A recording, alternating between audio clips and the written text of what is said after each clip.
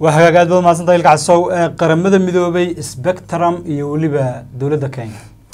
Waa mahadsan tahay nuurow waxaan ogeyn dabcan in kenya iyo soomaaliya uu muran dhanka badda ka dhexeeyo bishii febraayo ee bilowgii sanadkan Mhm. toddobadeedii magaalada london ee dalka ingiriiska ama Mhm. britain waxaa ka dhacay shir. Shirkaasi soomaaliya ayaa ka qayb gashay. Wuxuu u dhexay soomaaliya iyo shirkad lagu magacaabay spectrum oo dabcan shidaalka baadha ama sahamisa.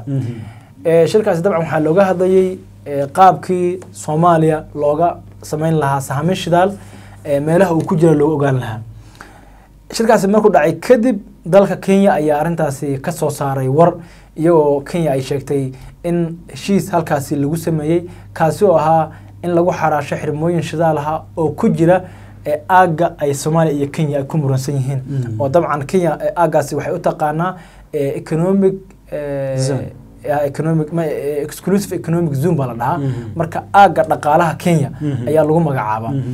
marka kenya waxay sheegtay in dhulkii ay ku muransanaayeen soomaaliya iyo kenya in maaragtay xaraash dhanka shidaalka lagu sameeyey.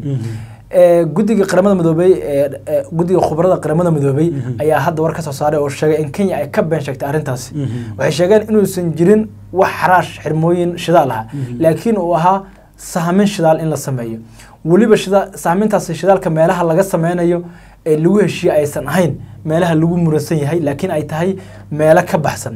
Marka arrintaasi- soomaaliya ee rasmiga ee aysan kenya ku muransanayn A- ka mid aad iyo aad. Mhm. marka arrintaasi ay ka hadashay guddiga khubarada ee qaramada midoobay Mhm. eh, oo kenya markaasi ku eedeeyey inay ka been sheegtay arrintaasi oo haba yaraatee kenya hadalkii ka soo yara uusan ahayn wax jira. Sidoo kale kenya markaasi waxay u yeeratay safiirkeedii ee soomaaliya u fadhiyey gaar ahaan magaalada muqdisho oo kenya looga yeeray.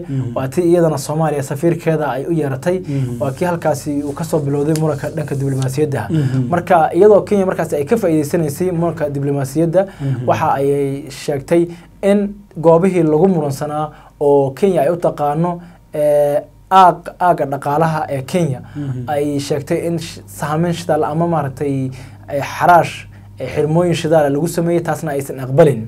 Marka qaramada midoobay guddiga khubarada waxay sheegeen ee dhanka soomaaliya waxay sheegeen in arrinta kenya ay ku dhawaaqday ay ahayd arrin aan sax ahayn oo aysan waxba ka jirin balse dhulka shidaal sahminta laga sameynayo ee lagu heshiiyey ee maaragtay soomaaliya iyo shirkadda spectrum ay ku heshiiyeen uu yahay dhul ka baxsan meesha hadda soomaaliya soomaaliya iyo kenya ay ku muransan yihiin waayahay aad baad mahadsantahay ilka casow. Ee, ugu dambeyntii waxaan waxaan aadaynaa dhankaas iyo maaragtay magaalada hargeysa ee somalilan Ee, somalilan saan ognahay waxaa ka jira saddex xisbi qaran. Ee, saddexda xisbi qaran mid baa dabcan mar walba talada haya.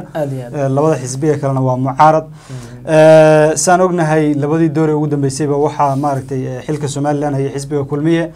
Ee, inkastoo madaxweyneyaashu ay laba ahaayeen oo muuse biixi iyo maaragtay axmed siilaanyo oo xisbigaasi kulmiye ka wada yimid ay ahaayeen. Ee, wadani iyo maaragtay u cidna mar walba waa mucaarad oo maaragtay labadaa doorba waxay ahaayeen mucaarad dibad jooga. Ee, cabdiraxmaan ciro oo ah guddoomiyaha ama maaragtay hogaamiyaha xisbiga wadani. ee, wadani. Mhm. ee, marar kala duwan ayuu dhaliilo u soo jeediyaa maaragtay dowladda somalilan Mhm. Ee, gaar ahaana xukunkan muuse biixi cabdi oo xilligeedii ee, la dooranayay tartan adagii Mhm. uu dabcan dhex maray. Ee, dadka qaar waxay yidhahdaan farmaajo ilahi wuxuu ka saliday xasan sheekh maxamuud iyo maaragtay ninka la yidhaahdo iyo iyo shariif. Mhm. halka muuse biixin ilaahay uu ku saliday Eh, cabdiraxmaan cabdiraxmaan ciro aad iyo aad macnaha waa waa aragti ay dadka qaar qabaan wey aad iyo aad cabdiraxmaan ciro maanta wuu hadlay. Maxaa ugu ugu ugu dooroonaa uu ka hadlay? Intaan hadalkiisa u galagalin eh, cabdiraxmaan ciro marna rayla buu arrimaha qaar u egyahay rayla odinga hogaamiyaha Odinga. caaladka ee dalka kenya. Marna xasan sheekh maxamuud iyo sheekh shariif oo hadda laf dhuun gashay ku noqday madaxweyne farmaajo yuu egyahay tan sheekh shariif mhm, iyo xasan sheekh maxamuud hadday taagan tahay. Mhm, tan muuse biixi iyo cabdiraxmaan cirana hadday taagan tahay. Mhm, tan rayla rayla waa nin mucaarad ah. Marar badan doorashada wuu ka qayb galaa laakiin marna waa laga guuleystaa marna waa laga shubtaa awooduu ku soo ritana ma hayo. Maxkamadiina dee markii ugu wanaagsaneed ama ugu fiicneed waxay labada kun iyo todobiyo tobankii oo doorashadii lagu celiyey. Haddana isagoo arkaa la qaatay. La teg la teg la teg uhuru la teg Hey, waa say uu ula tegay hey. ay ku heshiiyeen marka dambe. Ugu dambeyn wuu iska sabray. aad iyo aad. Eh, marka eh, wadani marka muddo dhowr jeer buu tartamay. Ay waxba ma hayo. Ay inkasta uu cid ka marna silaayin baa la tag la tag la tag.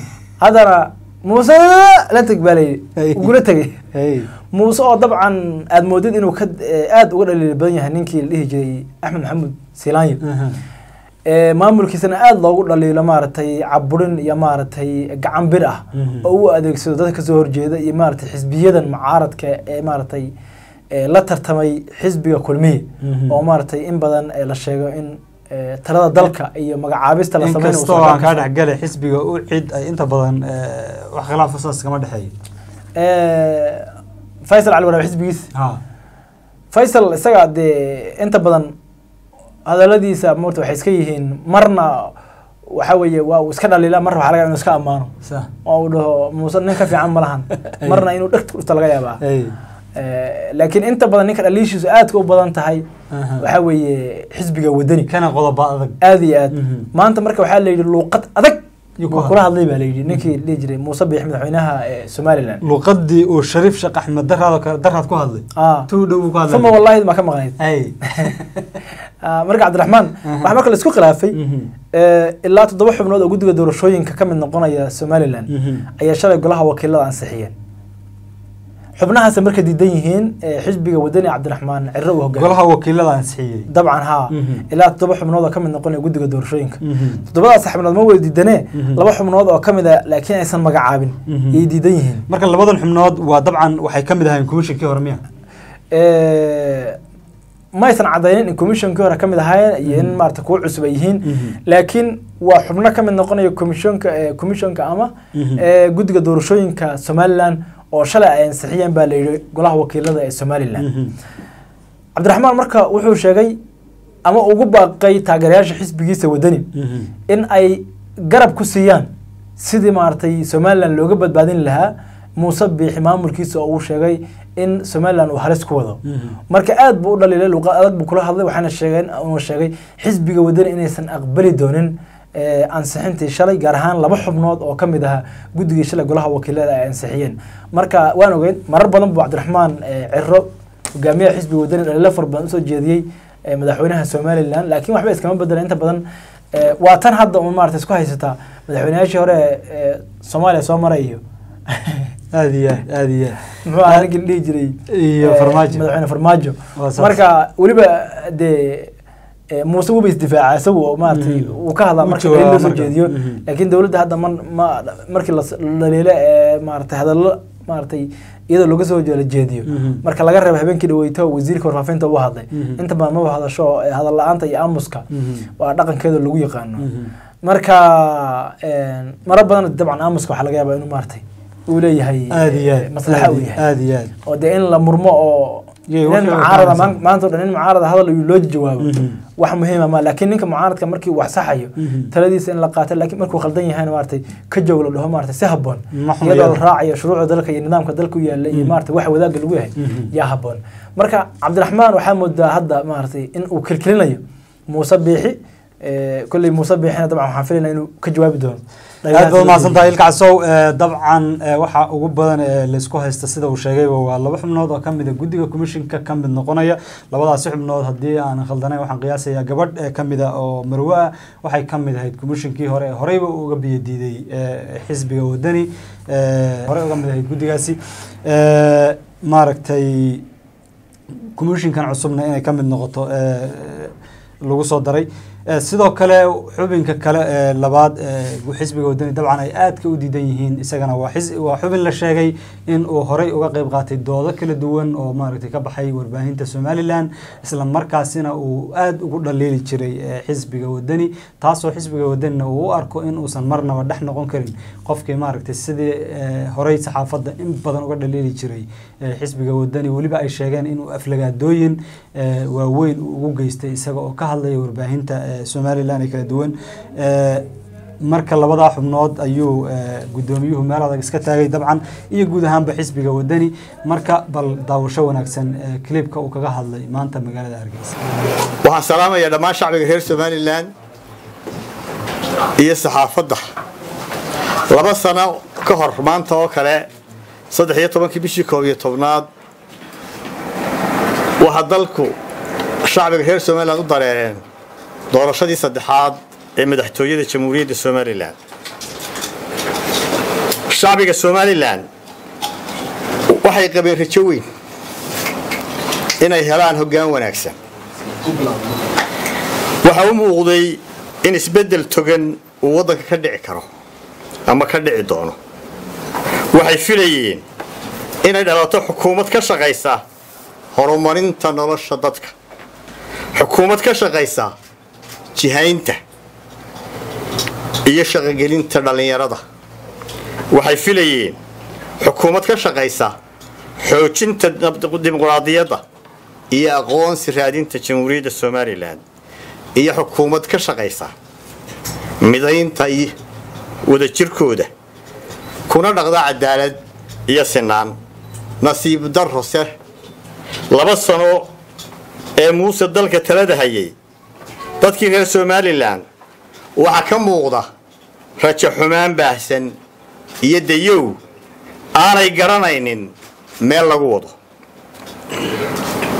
Maanta cabashada iyo yuhuun xumaanta waxaa ka sinmay dadkii doortay muuse iyo kuwii aan dooran waxaa soo baxday oo dhalatay xukuumad ninka hagaya ay ku adag tahay ku dhaqanka sharciga ay ka go'an tahay burburinta nidaamka iyo shuruucda. Walaalayaal baadisoocda ama sumadda hoggaaminta muuse laba sano ee uu xilka hayay waxay noqotay sidan kow kala qaybinta iyo kala irdhaynta shacbiga reer somalilan halkii uu ka midayn lahaa. Laba ku-xadgudubka iyo ku-tubashada dastuurka iyo xeerarka dalka isagoo waajibkiisa koowaad yahay ilaalinta ilaalintooda laguna dhaariyey waxaa tusaale cadi noo ah in maanta golayaasha deegaanka jamhuuriyadda somalilan muddo xileedkoodu dhacay. Muddo kordhinna aan loo samaynin sharcina aanay ku joogin dalka. Waxaa ka mid ah saddex faragelinta nidaamka ganacsiga xorta ah ee uu jideeyey dastuurku. Afar xakamayn la'aanta sicir bararka. Xadhkaha goostay ee ragaadiyey dhammaan nolosha shacbiga reer somalilan hoosu dhaca weyn iyo debaca ku yimid amniga gudaha taasoo sababtay inay ka dilaacaan markii ugu horraysay jabhado gudaha somalilan xisbiga waddani horuu u cambaareeyey. Jabhadaha ka samaysmay dalka gudihiisa mar labaadna waanu cambaaranaynaa u adeegsiga shan sorry lix. U adeegsiga awoodda qaranka dana shakhsi ah oo ay ka mid yihiin dhulboob iyo ganacsi gaar ah. Toddoba caadaysiga ku-tumashada xuquuqal insaanka caburinta xorriyadda saxaafadda madaxa bannaan xadhigga joogtada ah ee madaxda axsaabta iyo muwaadiniinta kala duwan. Sideed baahsanaanta maamul xumada iyo musuq maasaqa maamulkiisa ka jira. Inay luntay sagaal kalsoonidii beesha caalamka ee dalkani ka sugayey ictiraafka. Toban meyd maxaa u dambeeyey iyo kaa la sii sido waxaynu shalay dhammaanteen.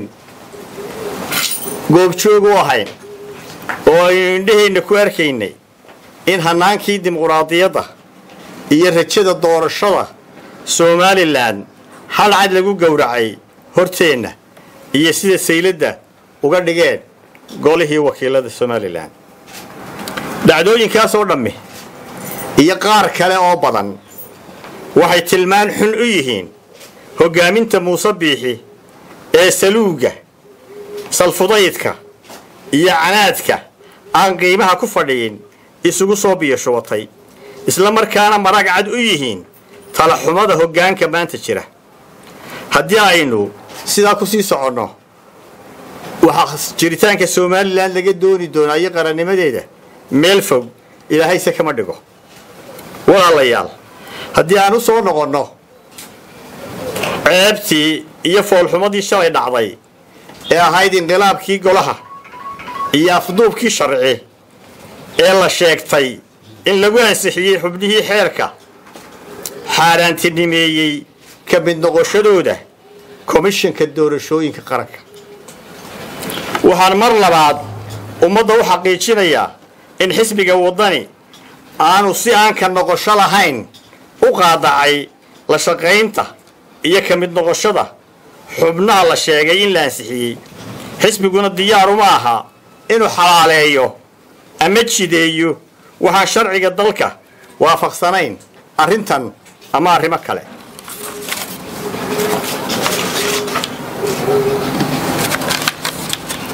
Waxaan ummadda u sheegayaa kow mar haddii aanu muuse xeer iyo xaagaantoona dhowrayn oo aanu uu distoorku kow ka yahay. Mar haddii uu fulin waayey heshiiskii uu la galay axsaabta qaranka ee beesha caalamku goobjoogga ka ahayd oo aanu jirin dabar xidhayaaba. Mar haddii aanu tole iyo tusaale midnaba ka dhegaysanayn hay'adihii dastuurku furay ama waajibiyey la tashigooda oo ay ka mid yihiin axsaabta qaranku mar haddii uu ka baydhay habkii wadatashiga iyo dimuquraadiyadda ee qarankani ku dhisnaa mar haddii uu dhaqan iyo yool ka dhigtay kala qaybinta iyo kala irraynta bulshada reer somalilan ee midka ahayd. Waxaannu muuse xasuusinaynaa inaanu dalkan xoog ku qabsan kuna haysan karin. Haddii uu ku sii wado canagsiga iyo sharci jiidhka waxaannu u sheegaynaa inaanaan taag iyo talo midna u waayin toosintiisa ee aannu ku dhaqaaqi doonno tallaabo kasta oo qarankan lagu badbaadinayo.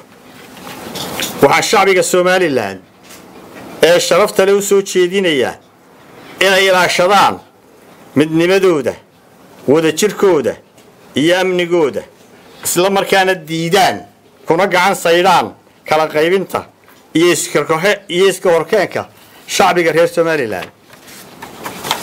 Ugu dambayn waxaan mahadnaq ballaadhan u soo jeedinayaa taageerayaasha xisbiga waddani guda iyo debadba waxaanan farayaa inay u diyaargaroobaan halgan adag iyo hawl culus. Oo dalka lagaga badbaadinayo maamul xumada muuse biixi waayahay aada baad umahadsan tahay ilka casow cabdiraxmaan cire aynu intaa kaga tagno hadalkiisa si kooban waxaan waan soo gabagabaynaynaa barnamijka waxaan joognaa qaybihii ugu dambeeyey xalay ama shalay galabkii xilli gaaban oo casarliiqi ah halkan magaalada nairobi gaar ahaan safaarada soomaaliya ee magaalada nairobi. Waxaa kulan ku wada yeeshay madaxweynaha jamhuuriyadda federaalk somalia mudane maxamed cabdullahi farmaajo iyo weliba dabcan dad soomaaliyeed oo lagu sheegay inay ahaayeen ganacsatada soomaaliyeed ee magaalada nairobi madaxweynuhu khudbad buu halkaasi uga jeediyey dadkaasi soomaaliyeed ee kulankaasi ka qayb galay. Khudbadaas inta badan wuxuu ku taataabtay waxyaabaha caqabadaha ee maaragtay dowladdiisa hor yaalla. Haddii aad daawatay maxaa kaaga baxay oo ugu waaweynaa oo uu maaragtay carabka mariyey madaxweyne maxamed cabdullahi farmaajo? Madaxweyne farmaajo dabcan waa runtaa dad soomaaliyeed buu kula kulmay magaalada nairobi oo uu halkaasi kula hadlay oo ganacsato iyo culimo iyo bulsho kaleba isugu jiray. Kuwaasi oo uu maaragtay uu maaragtay ku ammaanay qaabka maaragtay ay u maalgashadeen kenya oo dabcan ay degan tahay ama ay degan yihiin ama ay ku nool yihiin dad fara badan oo soomaaliyeed. Iyo weliba mar walba oo ay dalka soomaaliya horumarkiisa ka qayb qaataan. Dhaliil buu u soo jeeday dabcan de wax laga filayana way ahayd madaxweynayaashii hore ee soomaaliya wuxuu markaasi sheegay in mar walba ay jiraan dad dowladda ama dowlad dalka ka arrimisa luga haya oona ogoleen in wax horumara lagu tallaabsado. Wuxuu sheegay markaa in ay jiraan dad dowladda dhaliilaya oo mar walba saxaafadda hortaagan oo uu ku tilmaamay inay shaqadoon yihiin. Sheekh shariif iyo xasan sheekh maxamuud. Waa kolley dee hadda ahaa dadka ololaha maaragtay aadka madaxweyne farmaajo loogu dhaliilo. Eh, hormuudka ka ahaa iyaguna de dabcan kolley kursiga ugu sarreeya dalkay ku socdaan. Marka makaas baa haddana shaqaaleysi yara ma. Ah, makaas baa shaqadoona mise xafiisyada dowladda shaqa hadda ka rabaan. Ma fahmi karo laakiin waxaa laga yaabaa in de ugala jeedo in kursiga maaragtay isaga uu ku fadhiyo inay maaragtay ay iyagana fadhiistaan ama ay raadinayaan. Marka hadalkiisa markaad fiiriso wuxuu isugu jiray dee ah, dadka oo maaragtay ku dhiirigelinaya in dalkooda ay maalgashadaan dalkooda horumarkiisana ay ka shaqeeyaan dhaliil uu jeediyey mucaaradka madaxweynayaashii hore oo dabcan iyagu hadda hormuud ka ahaa ee dhaliilaha loo jeediyo maamulka ama dowladda uu isaga hogaamiye madaxweyne farmaajo. Ammaan uu jeedinayay ganacsatada soomaaliyeed ee dalka kenya qaabka ay mar walba ugu taagan yihiin shacabka soomaaliyeed dhibaataysan inay garab qabtaan horumarka dalkoodana ay maaragtay uga shaqeeyaan. Iyo soomaalida kenya oo maaragtay ku booriyey in ay sii wadaan in dalkooda ay soo maalgashadaan oo horumarkiisa ay ka shaqeeyaan dalka kenya oo ay joogaanna ay maaragtay qaabka ugu wanaagsan ee shacabkiisa iyo dowladdiisa kula dhaqmaan howlahoodana si wanaagsan ay u wataan. Marka hadaladiisa inta badan eh, intaas bay daaraayeen inkastoo khudbadu ayaan malaynaya in dhowr toban daqiiqa ahayd. Marka muhiimadda intaas bay ahayd. Arrinta maamul goboleedyadoo kale wuxuu sheegay in maaragtay waa run ay maamul goboleedyada waa uu ka hadlay. Wuxuuna ku tilmaamay inay yihiin caqabadaha soomaaliya maaragtay ay wajahayso. Oo uu sheegay in qaarkood ay dowladaha deriskaha ay saameyn ku leeyihiin. Taasi oo markaa eh, sababaysa in dalkii maaragtay horumarkii uu gaari lahaa. Mar badan uusan ku tallaabsanin. Iyagoo markaasi dowladaha deriska qaarkood ay maamul goboleedyada soo marayaan si ay soomaaliya maaragtay markaasi dhibaato ugu geystaan. Marka caqabad inay ku yihiin maamul goboleedyada ayuu ku tilmaamay soomaaliya dowladaha deriskaana oo dabcan wuxuu ku tilmaamay xilligii uu yimid ahayn state holderska inay ka mid ahayn. Eh, dabcan. Marka aduu dabcan hadaladii uu jeediyey eh, waxyaabihii ugu muhiimsanaa intaas bay ahaayeen. Aada iyo aad baad mahadsan tahay ilka casow dabcan in kasta oo khudbadaasi madaxweynaha oo dhammaystiran s s t v aad ka heli kartaan. Haatanna bal waxaan idinla wadaagaynaa qeyb yaroo kooban oo ka mid ah khudbadaasi madaxweyne maxamed cabdullaahi farmaajo gaar ahaana nuxurka ee khudbadaasi. Waxyaabihii uu kaga hadlay daawasha wanaagsan waxaa ugu horreeya oo dhibaatooyinka inta badan ka taagnaan jireen waa madaxweynaha iyo prime ministerka. Intaas yaa waxay noqotay muddo dheer wax la xallin waayey. Laakiin alxamdulilah saddexdii sano la soo dhaafay oo hadda aan ku dhownahay saddex sano waa xalina arrintaas. Waxaan rajaynaynaa sanadka noo harayna in aan ku dhammaystirno inuusan dhicin xasilooni la'aan siyaasadeed inuusan dhicin caqabadda ku xigta waxay ahayd in baarlamaanka iyo xukuumaddu ee, ay isku noqdaan. Ee, maxaan ku rahdaa caqabad isku noqdaan. Waa markii laga soo tago madaxweynaha iyo prime ministerka. Marka waa taaka kale baarlamaanka baarlamaankana waa ku guuleysanay in xiriir fiican aan la lahaano oo aan wada shaqeyno annagoo ah separate entity hay'ado howlahoodu kala duwan yahay intaas marka la dhaafo waxaa intaas dheer oo inta badan dee dhibaato ah oo dadka badanaaba aysan fahamsanayn. Dalka bacdamaa uu khalkhalaaso siyaasadeed muddo uu ku soo jiray maalin walba waxaa imaanaya siyaasiyiin cusub. Sanad walbaba afar sano walbaba siyaasi- siyaasiyiin cusub yaa imaanayey siyaasiyiin horelena waa imaanayeen. Kuwii hore ma tagaan magaaladay kula joogaan. Waa active. Tiradoodana aad u fara badan yihiin. Marka haddaad tiraahdo toban iyo labaatan iyo soddon ka soo bixi kun yaa bannaanka taagan oo caraysan.